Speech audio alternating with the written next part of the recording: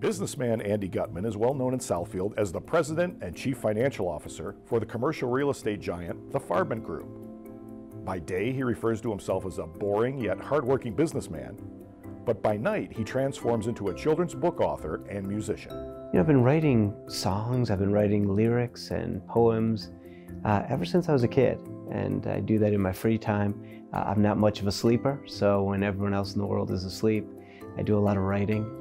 Uh, my inspiration for most of what I do in life is my daughter and trying to leave a good legacy for her, trying to teach her life lessons. And um, she's probably my biggest inspiration that made me finally take what's been on paper for years and turn that into songs and turn that into books.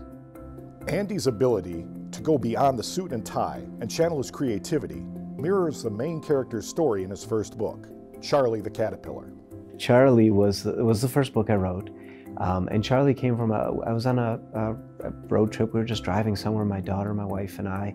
And my daughter and wife were talking about, uh, my daughter was studying butterflies and caterpillars at school. And uh, she was saying, well, what, what happens while the caterpillar's in the cocoon?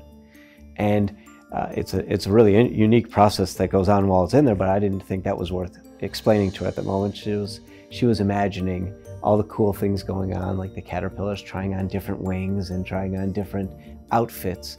And it was more of a fashion show in her mind. And so I'm like, oh, that's really cool. We should write a song about that. And uh, she said, well, Dad, no, you're so embarrassing. Don't do that. And so I did. Oh, cute caterpillar looking in the mirror and wishing he was bigger. Doesn't know it now, but surely is a winner. Everybody else can see. This is a story of a cute caterpillar feeling like he's small and wanting to yeah, I said, well, we should you know, turn that into a book. And she said, no, Dad, don't. That's that's really embarrassing if you do that. And so I did.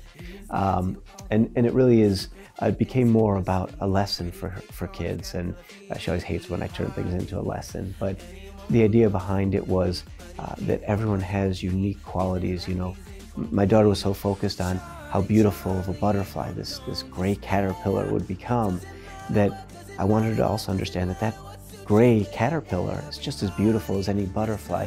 It's just unique and different in its own way.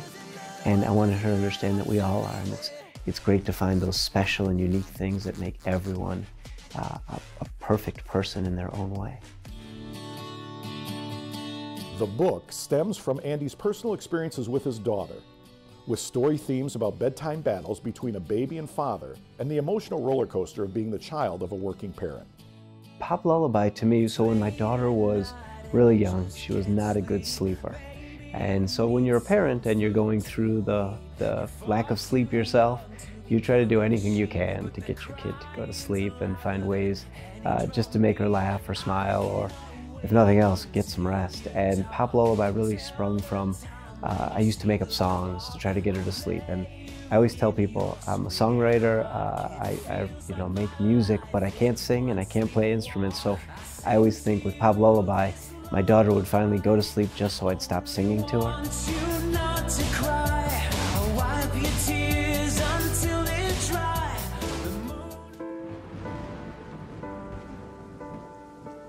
Uh, Even was one of the first songs I wrote for my daughter.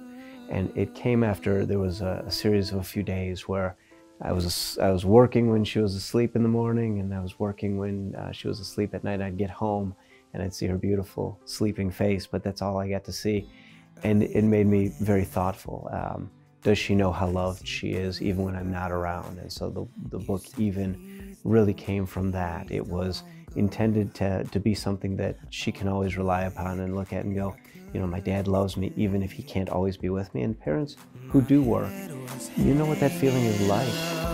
Even when I'm not with you, I'm always there. Even when I'm far away, in my mind you'll stay.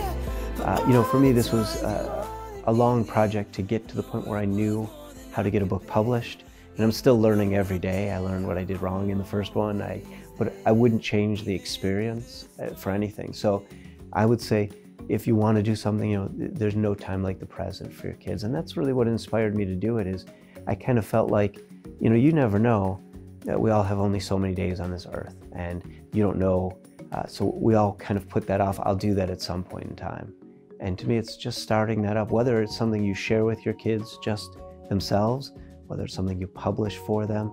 Um, but take those times, do those experiences. If you know, if you're good at crocheting, crochet them something they can keep with them forever. Uh, but those are the things that, that it's the reason I did that is I wanted to have that legacy. And I think parents in general, um, having that ability that there's something personal that you, you know, you pass along to your kids, whatever your talent, whatever your art, is worth doing. And there's always that legacy for my daughter, and there's things that she'll have for the rest of her life. And, um, and she'll be able to share and enjoy the happy times, the sad times, and uh, hopefully that's, that's something that all parents want for their kids. For more information about author and composer Andy Gutman and information about his books and music, go to www.gutcheckpublishing.com.